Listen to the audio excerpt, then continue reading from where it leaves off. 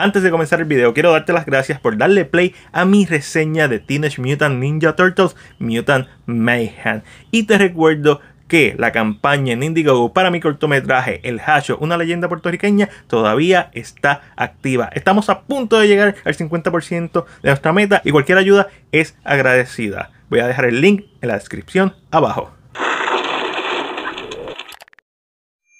Dirigida por Jeff Rowe, tenemos la séptima película basada en los cómics creados por Kevin Eastman y Peter Laird.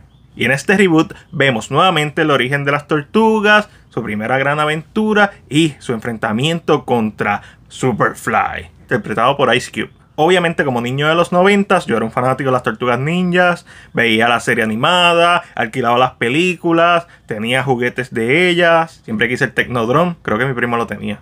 Pero quitándome la venda de nostalgia de los ojos, vamos a ser francos. La primera película está ok. Admirable el diseño y ¿verdad? de los disfraces, la ingeniería con los animatronics en las máscaras.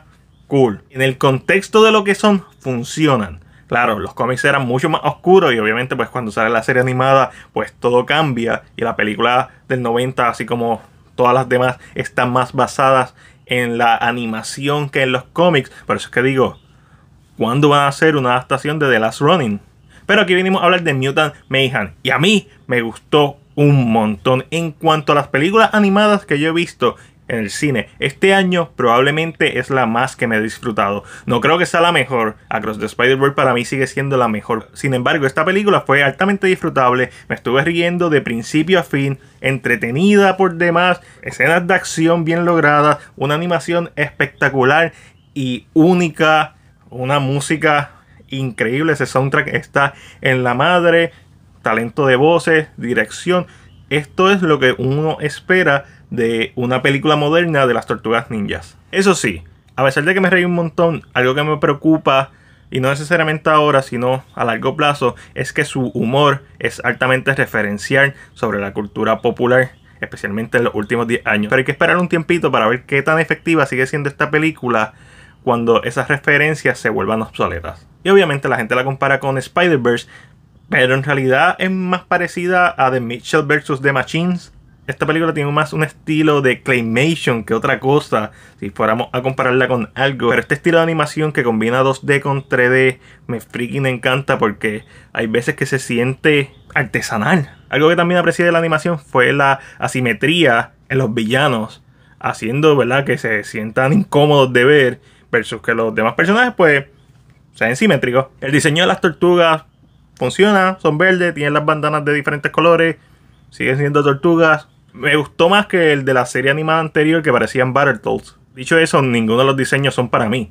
Son para la nueva generación que se va a criar viendo estas películas y las series que quieren hacer y la secuela que quieren hacer de esta película. So cool, claro, aquí hay mucha nostalgia también para el público viejo como yo, que se crió viendo esto desde los 90 o que leyeron los cómics de los 80 y vieron la serie animada de los 80 y después vieron las películas live action del 90 en adelante, pues también hay para ese público, pero esta toma o esta versión de las tortugas se siente fresca para el público actual, público moderno, estos adolescentes que están creciendo ahora y los temas que tocan pues son importantes para ellos y hacen ecos para ellos sobre la aceptación, además de otros tantos temas, pero el de la aceptación es la pieza fundamental de esta película y lo que hace que el filme funcione, no tan solo por el tema, porque si fuera un buen tema y that's it, pues la película se haga encanto, sino por la química entre los personajes, tanto de las tortugas como con su padre Splinter, como con los villanos, incluso la química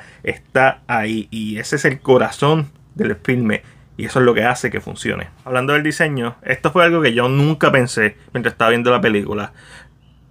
Lamentablemente, cuando subí mi reacción en las redes sociales, uno de los primeros comentarios fue bla bla bla bla, woke, bla bla bla. Me la pelan.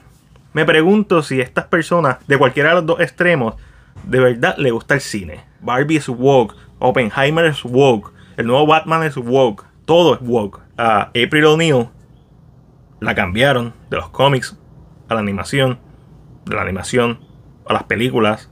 April O'Neil solamente tiene cuatro características principales. Uno, obvio que sea mujer. Dos, que sea neoyorquina. que vive en New York y tenga el acento de New York.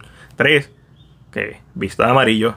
Y cuatro, que sea reportera. Eso es lo que define el personaje. Lo otro no importa. Y uno de esos factores estéticos, pero como están presentes, especialmente las tortugas ninja una vez son animadas, que los colores son tan distintivos de los personajes, pues hace sentido que el amarillo sea uno de los factores que representen a este personaje. Y en esta película están esos cuatro factores cubiertos.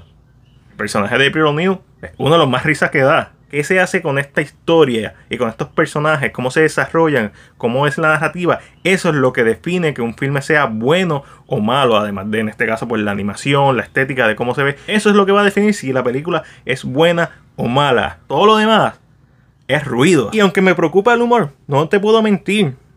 De principio a fin me mantuve riéndome viendo esta película hay referencia a básicamente todo un poco dentro del universo de las tortugas ninjas. La primera vez que tenemos adolescentes genuinamente haciendo las voces de las tortugas. Sobre eso, un punto extra. Es por eso que entre lo bueno, lo malo y lo ok, yo le voy a dar a TMNT, Mutant Mayhem, una B menos. Pero esa es solamente mi opinión. Ahora déjame saber la tuya en la sección de comentarios. Como siempre, si te gustó este video, dale like y compártelo. Recuerda suscribirte a nuestro canal de YouTube y darle a la campana de notificaciones para que no te pierdas nuestro contenido. Este fue Mac de CinePR y será hasta la próxima.